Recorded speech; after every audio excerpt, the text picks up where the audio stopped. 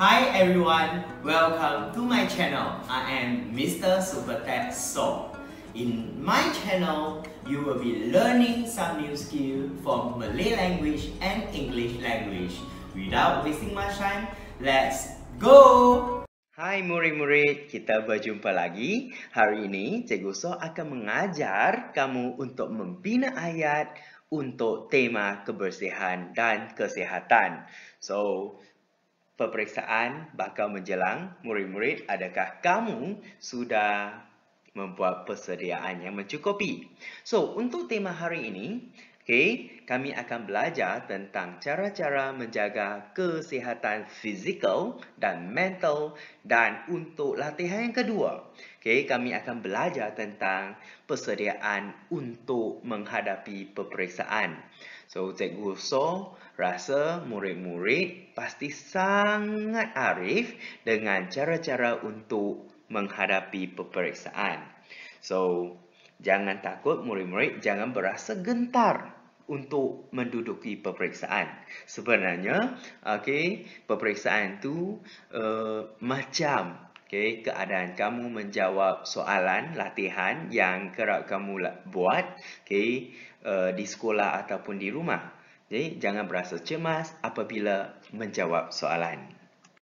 So, untuk latihan yang pertama, okay, arahannya adalah seperti berikut.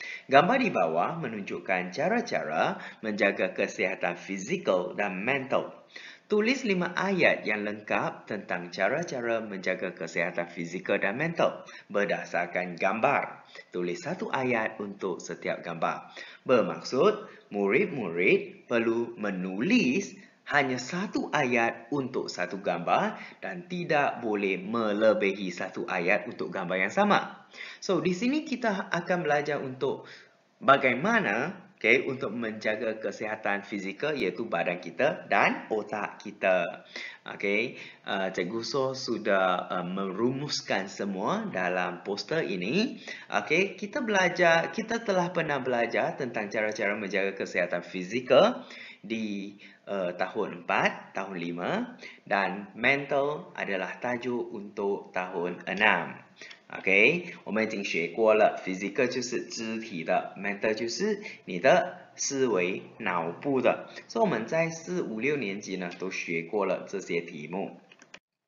So kita tengok pa, uh, pada gambar yang diberikan nomor satu, OK, bersukan, OK, budak-budak ini sedang bersukan. Nombor dua, budak lelaki ini sangat sihat, sangat kuat, ototnya sangat kuat dengan mengambil uh, sayur-sayuran, buah-buahan di hadapannya. Okey, gambar yang ketiga, lelaki ini sedang tidur. Gambar yang keempat, okey, uh, satu keluarga yang sedang beriadah. Dan gambar yang kelima, okey, di uh, dalam tanda ini kita telah menunjukkan jangan mengambil alkohol.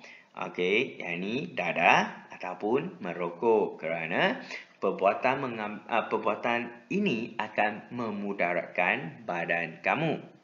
So, kita lihat pada uh, perkataan yang diberikan. Okey, ataupun kata kunci yang diberikan sangat penting. So, hari ini ini 词汇呢是非常重要的。So, 我们来看第一个 bersenam dengan kerap. Bersenam, bersenam dengan kerap bermaksud 时常运动啦。 OK，第二，mengambil pemakanan yang seimbang，吃均衡的饮食，mendapatkan tidur dan rehat yang cukup，要睡好休息好，melakukan aktiviti riadah，要做休闲活动，dan menjauhi alkohol，酒精，dada, 毒品 dan rokok, 香烟。So, dengan melakukan semua perbuatan ini, kamu akan kekal sihat selalunya. Right? So, kita akan lihat bagaimanakah kita menulis ayat-ayat uh, untuk setiap gambar di atas. Okay, murid-murid ingat. So, untuk menulis ayat uh, jenis fakta ini, cara-cara, okay, kita akan menggunakan uh, ayat seperti kita perlu, kita mesti, kita harus ataupun setiap individu, masyarakat, murid-murid. Okay, so kamu gunakan subjek seperti ini dan kata bantu mesti, perlu, harus, wajar, patut, wajib dan sebagainya. So, untuk ayat yang pertama. Okay, bersenam dengan kerap. Toksin dapat dikeluarkan dari badan melalui peluk. Okay. Kamu boleh buat yang seperti ini. Kita perlu bersenam dengan kerap supaya toksin dapat dikeluarkan dari badan melalui peluk. Okay. So, untuk gambar yang kedua, bagaimana pula? Setiap individu perlu mengambil pemakanan yang seimbang. Okay, setiap individu perlu mengambil pemakanan yang seimbang supaya sel-sel badan dapat menerima zat yang diperlukan okay, untuk membina sel baharu. So, sekiranya sel-sel badan kamu mendapat zat yang mencukupi, so sel-sel baru dapat dibina dengan cepat. Okay, 有足够的营养，你新的细胞呢很快就生产了。Okay, yang ketiga. Okay, kita perlu mendapatkan tidur dan rehat yang cukup. Mengapa? Okay, 为什么我们要足够休息和睡觉？Supaya kelihatan sentiasa ceria dan mengelakkan keletihan yang melampau. Mengelakkan keletihan yang melampau bermaksud, okay, jangan terlalu letih. Okay, 不要做自己太累。Okay, kerana sekiranya kamu terlalu letih, penyakit akan datang. Okay, penyakit akan datang dan kamu akan menghidap penyakit seperti stroke dan sebagainya. Okey, 迟睡觉不好了，很多病会来。Okey. So, untuk gambar yang keempat, okay, melakukan aktiviti riadah. Okay, kita boleh melakukan aktiviti riadah bersama ahli keluarga atau kawan-kawan. Mengapa? Supaya melepaskan tekanan dan melapangkan fikiran. Suje yali, fang kong si So, yang ini lebih kepada kesihatan mental, right? Dan yang terakhir, kita perlu menjauhi alkohol, dada dan rokok Okey, kerana pengambilan bahan-bahan ini akan memudaratkan kesihatan badan, memudaratkan bermaksud, okey, 破坏或者伤害啊，OK，破坏和伤害 kesihatan badan dan menyebabkan kepincangan keluarga. Kepincangan keluarga 就是令到家庭破碎，肯定啊。如果有一个吸毒者在家里。 时常不能去工作，要跟家里讨钱，因为钱而吵架，所以家庭会破碎的。你想象，如果一个爸爸每天都喝醉酒打老婆，OK，打孩子，是不是这个家庭会破碎？对，So kita harus ataupun masyarakat harus menjauhi alkohol，OK，ataupun menjauhi pengambilan alkohol, dada dan rokok。Kerana bahan-bahan ini akan memudaratkan kesihatan badan dan menyebabkan kepincangan keluarga. Okey, faham? So, kalau sudah faham, kita pergi ke tajuk yang kedua. So, arahannya adalah seperti seperti begini. Gambar di bawah menunjukkan persediaan yang perlu dibuat untuk menghadapi peperiksaan. So, apakah persediaan yang perlu kamu buat untuk menghadapi peperiksaan? Tulis lima ayat yang lengkap tentang persediaan yang perlu dibuat untuk menghadapi peperiksaan. Tulis satu ayat untuk setiap gambar. Okey, sini seperlu-perlunya satu nokta.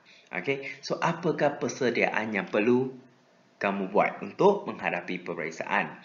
So, 为了要面对考试，OK，你需要做什么准备 ？Okay, kita tengok nombor satu, revision timetable. Okay, ni 需要有什么呃时间表。Nombor dua, mengulang kaji pelajaran. Nombor tiga, belajar dalam kumpulan, kumpulan kecil. Nombor empat, mengambil pemakanan yang seimbang lagi. Dan yang terakhir, tidur dan rehat yang cukup. Kita tengok pada kata kunci yang diberikan. Nombor satu, membuat jadual waktu untuk aktiviti seharian. So, kamu perlu merancang, okay, apakah aktiviti yang perlu kamu lakukan sama ada bersenam, okay, mengulang kaji ataupun sebagainya. Okay, supaya kamu boleh merancang masa dengan baik. Nombor dua, menelaah pelajaran bermaksud membuat ulang kaji. Nombor tiga, belajar secara berkumpulan, belajar dengan kawan-kawan kamu. Okey, nombor empat, mengambil pemakanan yang seimbang. Apakah yang patut kamu makan? Okey, jangan mengambil makanan ringan yang terlalu banyak. Dan yang terakhir, mendapatkan tidur dan rehat yang cukup. Okey, so nombor satu, okey, setiap murid, okey kamu boleh tulis macam ni. Setiap murid ataupun kita, okey. Subjeknya setiap murid, kita, okey. Uh, janganlah tulis uh, setiap insan, setiap individu kerana ini lebih kepada murid ataupun murid-murid boleh. Okey. So, setiap murid perlu okay, ataupun digalakkan. Ha, pekuli setiap murid digalakkan membuat jadual waktu. Okay, ataupun kita perlu membuat jadual waktu untuk aktiviti seharian supaya kehidupan menjadi lebih teratur ni tersenghuap bicara kuali dan mengelakkan pembaziran masa. Kalau kamu mempunyai eh, jadual waktu yang uh, perlu diikuti, okay, kehidupan kamu pasti akan menjadi lebih teratur dan tidak akan berlaku pembaziran masa. So, kita perlu membuat jadual waktu untuk aktiviti seharian supaya kehidupan menjadi lebih teratur dan mengelakkan pembaziran masa. Okay, yang kedua, okay, setiap murid boleh menelaah pelajaran pada setiap hari supaya lebih mengingati. Tapi jauh cerita, topik-topik yang pernah diajar oleh guru bagi memudahkan kita menjawab soalan peperiksaan. 如果你记得老师教所有东西，给你在考试一定能够回答所有的题目。对了，seterusnya, okay, kita boleh belajar secara berkumpulan, okay, supaya dapat berkongsi idea dengan kawan tentang sesuatu topik dan bertanya kepada kawan sekiranya tidak memahami pelajaran. So, 为什么你要有小组学习？第一，跟你朋友分享 idea；第二，你如果不会的时候，可以问你朋友 mengapa? Kerana malu bertanya sesat jalan. Kalau kamu tidak ingin sesat jalan, kamu perlu bertanya kepada rakan sekiranya tidak memahami pelajaran. Okey, untuk gambar yang keempat, kita harus mengambil pemakanan yang seimbang supaya sel-sel badan mendapat khasiat yang diperlukan okay, bagi mengelakkan kita diri kita jatuh sakit. So 你必须要吃这些营养的食物呢，OK，为了要避免生病。Okay, next.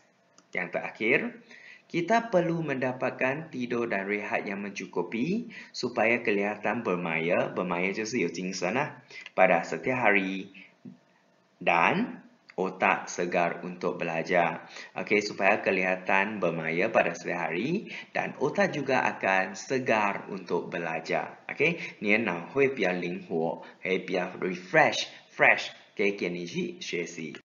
Okay, setakat inilah perkongsian Cikgu So untuk hari ini. Murid-murid, sekiranya terdapat sebarang pertanyaan, sila type komen anda di ruang komen di bawah. Okay, sekiranya kamu suka saluran YouTube Cikgu So, sila like dan subscribe. Okay, murid-murid, okay, kita berjumpa lagi. Bye. If you like my channel after watching my videos, don't forget to subscribe and like my video. That's all for today. Bye.